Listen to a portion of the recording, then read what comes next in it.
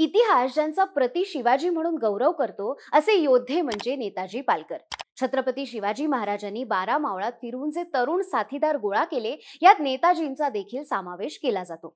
नेताजी सातारा जिल्ह्यातल्या खंडोबा पालीचे होते असं म्हणतात.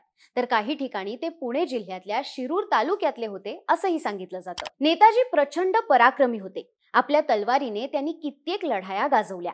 स्वराज्याची निर्मिती झाली तेव्हा शिवरायांनी शहाजी महाराजांचे सहकारी असणाऱ्या माणकोजी दहा तोंडे यांना सरसेनापतीपद दिलं होतं. शहाजी महाराजांसाठी पंधरा वर्ष तर शिवाजी महाराजांसाठी वीस वर्ष त्यांनी सेवा केली. माणकोजी दहा तोंडे यांच्या मृत्यूनंतर महाराजांनी नेताजी पालकर यांना सरनोबतीची जागा दिली. नेताजी पालकर पराक्रमी तर होतेच पण त्यांची लोकप्रियताही अफाट होती.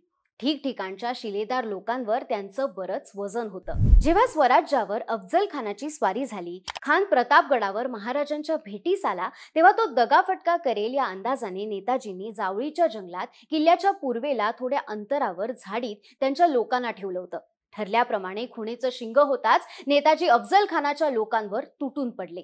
त्यांनी त्यांची कत्तल केली. सिद्धी जोहरने पन्हाळगडाला वेढा दिला तेव्हा नेताजी पालकरांनी आसमंतातला मुलूक उद्ध्वस्त करून वेढा देणाऱ्या सैन्याची रसद मारण्याचा पराक्रम केला होता. ते गनिमी काव्यात प्रचंड तरबेज होते. विजापूरकरांच्या आदिलशाही फौजेस मैदानात ते कधी तोंड देत नसत परंतु रात्रीच्या वेळी तिच्यावर हल्ले करून त्यांना पळवून लावण्याचं काम त्यांनी यशस्वीपणे पार पाडलं.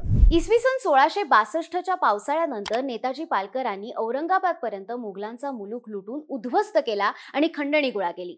त्यांना अडवण्यास कुणीच पुढे आले नाही. त्याचप्रमाणे शाहिस्तेखानाच्या पुण्याच्या मुक्कामातही त्यांनी त्याच्यावर वारंवार हल्ले करून सतावून सोडलं होतं. पुढील पावसाळ्याच्या सुमारास नेताजींनी अहमदनगर आणि औरंगाबाद यांच्या आसमंतातला मुलूक लुटून जाळपोळ करण्यास सुरुवात केली होती. परंतु मोगलांच्या एका तुकडीने त्यांच्यावर अचानक हल्ला करून मराठी सेनेला मागे हटवलं. यावेळी नेताजी पालकर जखमी झाले होते. नेताजी पालकर मोगलांच्या मुलखात यशस्वीपणे लुटालूट करून प्रत्येक पावसाळ्याच्या आरंभी अगदी नियमितपणे परत येत असत. पुढे जेव्हा मिर्जा राजे जयसिंग आणि दिलेर खान दक्षिणेत आले तेव्हा ही बातमी शिवाजी महाराजांना वेळेवर कळली नाही. सरनोबत म्हणून शत्रूच्या हालचालींवर लक्ष ठेवणं हा एक नेताजींच्या कामाचा भागच होता. पण ते ऐन वेळी दूर कुठेतरी अडकले होते. महाराजांना नेताजींच्या या वर्तनाचा राग आला परंतु त्यांनी या गुस्ताखीची गय केली. पुढे पन्हाळा मोहिमेच्या वेळी ते वेळेवर पोहोचून महाराजांना कुमक पोहोचवू शकले नाही. यात महाराजांचा पराभव झाला आणि सुमारे हजार माणसं मारली गेली.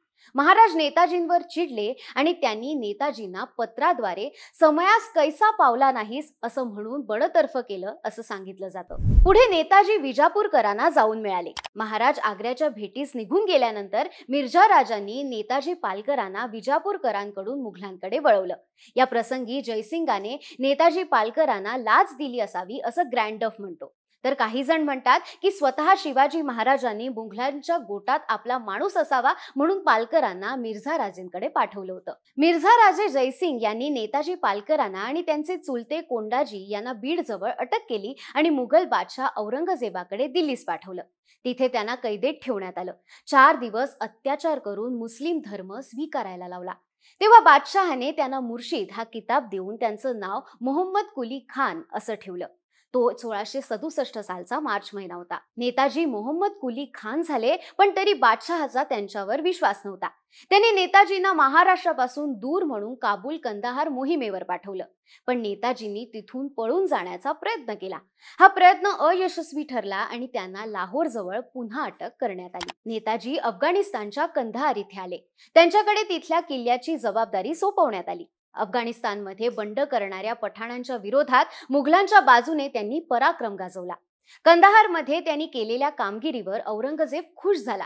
ते पुन्हा छत्रपती शिवाजी महाराजांना जाऊन मिळणार नाहीत याची त्याला खात्री पटली. इकडे महाराष्ट्रात अनेक मुघल सरदार स्वराज्यावर विजय मिळवण्यासाठी प्रयत्न करत होते.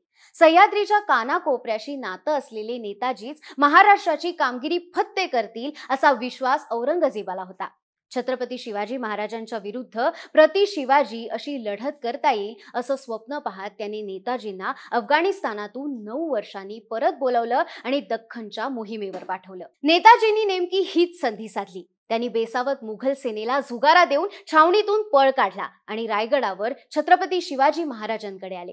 आपण द्याल ती शिक्षा मी स्वीकारेन पण मला पदरात घ्या अशी विनवणी नेताजींनी केली. छत्रपती शिवाजी महाराजांनी त्यांना माफ केलं. नेताजी पालकरांनी प्रायश्चित्त घेतलं आणि एकोणीस जून सोळाशे शहात्तर रोजी महाराजांनी त्यांना पुन्हा विधिवत हिंदू धर्मात घेतलं. ही माहिती तुम्हाला कशी वाटली? आम्हाला कमेंट करून नक्की सांगा आणि बोल भिडूच्या युट्यूब चॅनलला सबस्क्राईब करायला विसरू नका.